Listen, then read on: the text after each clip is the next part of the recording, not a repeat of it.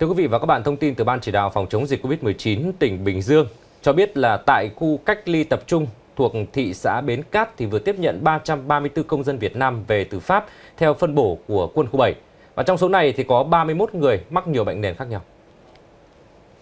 Cụ thể trong số này có 153 nam, 181 nữ, trẻ em dưới 10 tuổi có 10 em và trên 60 tuổi có 14 người. 31 người có bệnh nền như là tăng huyết áp, đái tháo đường, đại tràng, trầm cảm và cột sống. Ban chỉ đạo phòng chống dịch COVID-19 thị xã Bến Cát đã sắp xếp chu toàn nơi ở, sinh hoạt ổn định cho các công dân trong suốt 14 ngày cách ly tập trung.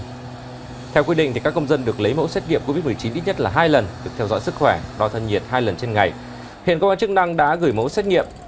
cũng tại khu cách ly tập trung này, Ban điều hành khu cách ly vừa tổ chức lễ công bố và trao giấy chứng nhận xác nhận hoàn thành thời gian cách ly y tế tập trung phòng chống dịch COVID-19 cho 325 công dân Việt Nam về từ Đức. Đây là những công dân Việt Nam về từ Đức được quân khu 7 điều tiết và những công dân này được trao giấy xác nhận trong đợt này đều có kết quả xét nghiệm âm tính với COVID-19.